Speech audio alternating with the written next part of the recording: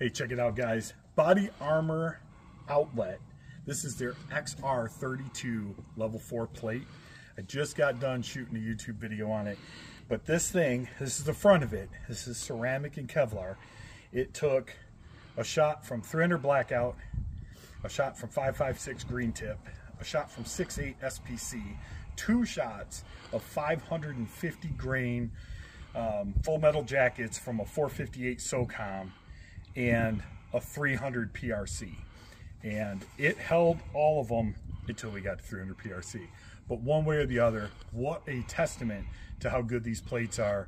At 25 yards, to take that kind of energy is phenomenal. We got level three plates coming up next. See ya.